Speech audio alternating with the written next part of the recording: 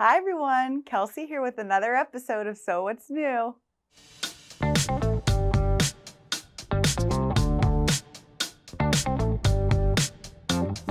And today we have a great brand new collection called Gnome and Garden from Wilmington Prints. We have this wonderful quilt that Mary Janine made for us as a store sample. It's a throw quilt, so it's 57 inches by 68 inches, and it features the adorable main panel all cut up into different blocks. This mushroom block, which we fell in love with, and it's got a great border print at the top and the bottom.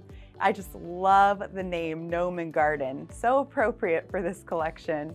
And of course, we made kits. So the pattern is included in the kit. This is from, once again, Wilmington Prints. And who would not want to snuggle up in this quilt?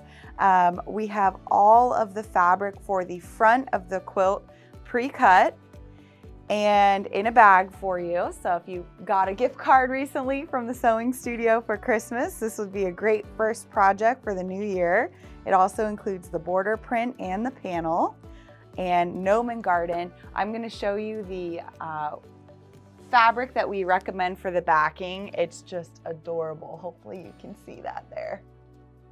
But a very simple quilt to make. Looks like a lot of fun and very lovable and huggable.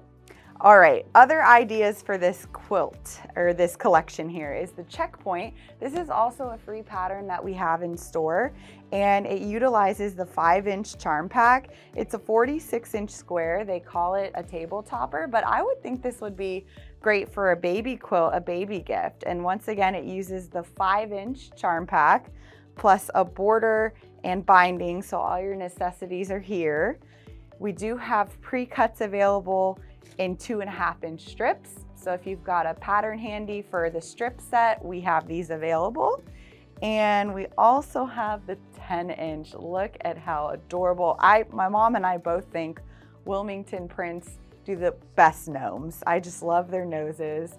Look at the detail. Some of them are wearing their typical hats, but some of them have planter pots as a hat coming out of the um, watering bucket. There's just a lot of attention to detail in all of these prints.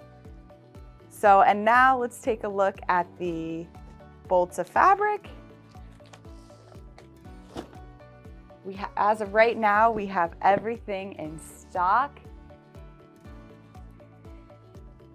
And there's so much you can do with these prints besides making a quilt. We have perfect coordinates to go with um, the green. So if you like this and you wanna make something out of that, we've got a perfect coordinate to go with it, as well as the florals. This is the red that was used in the mushroom quilt block in the quilt. It's just adorable.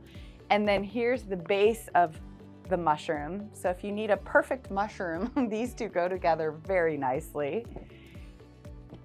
And then the same kind of collection that I just showed you in that light green comes on a blue background with a perfect blue coordinate and a perfect little blue dot and then more mushrooms. Very well done. This is the one that we recommend you use for the back. And we'll, we'll put up on the screen how much you need for the back if you're gonna buy the quilt kit. And then here's a perfect little coordinate with buzzing bees. We have the panel. Here is the border print.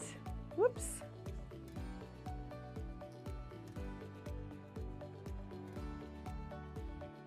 Little gnomes. This is a great spring print to decorate your house for the upcoming season. And then a few more greens. So that is Gnome and Garden. Once again, the kits are available for purchase, pre-cuts are available, patterns available. It's all in store or online at sewing.net. And thank you so much for watching.